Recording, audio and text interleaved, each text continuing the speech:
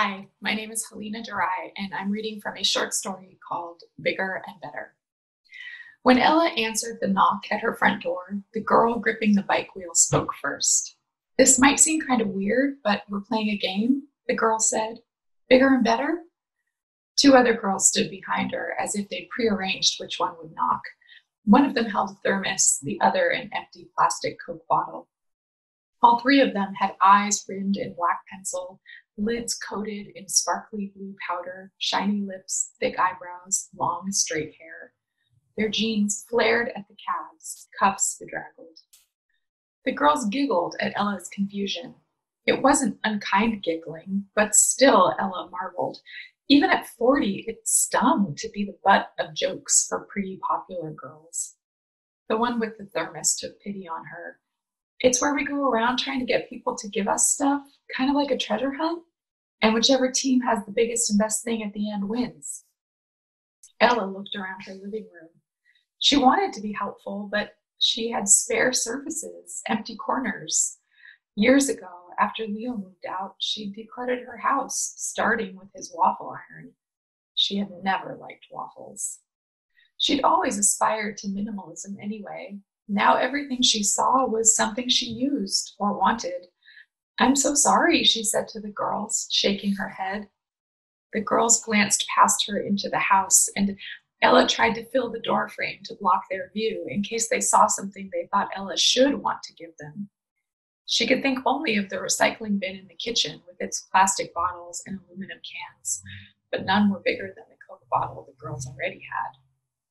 The girls kept standing there as if they didn't believe Ella would actually disappoint them.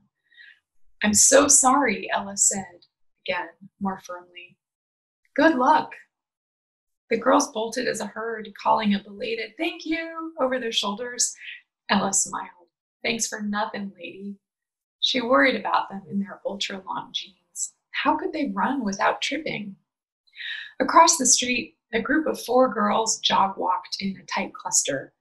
One of them hugged to her chest a giant stuffed Rastafarian banana with googly eyes, yarn dreadlocks, and a beanie in the colors of the Jamaican flag. It was almost as tall as she was and a clear indicator of victory. The sight spurred Ella's sudden, fierce loyalty. In an instant, the girls who'd come to her door became her team, her girls. Ella sped from room to room, searching for things to part with. She imagined herself sprinting down the sidewalk after the girls, offering something huge and awesome in her outstretched arms. Through the bedroom window, she glimpsed her garage. She'd decluttered the house, but never the garage. In fact, some of what she'd cleared from the house she'd shoved onto shelves lining the garage. She rolled back the heavy door and looked at everything the girls might have wanted, everything that might have clinched the game for them. She sprinted to the corner, looked up the cross street both ways for the girls, none in sight. Girls, she wanted to call, girls, come back. Maybe they would pass this way again. If they did, she'd be ready. In the center of the garage, she piled a picnic basket she bought on a whim in Vancouver and moved to three different states without ever once taking on a picnic snowboarding boots that were always too tight and made her hate snowboarding, a beat up cooler with a former employer's company logo, yellowed lampshades, a red check tablecloth, a magician boyfriend yanked out from under a meal one night in an Italian restaurant just to prove to her he could. A miniature tabletop foosball game, a collapsible red nylon kitten climbing structure, a kite with the face of a cartoon dog, and so on. She piled and piled and then walked it by the armload to the street corner, the way people did in this lazy beach neighborhood. No one ever bothered putting up a free sign. Ella looked again for her girls, but didn't see them.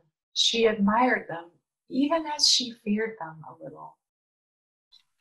Thank you for listening.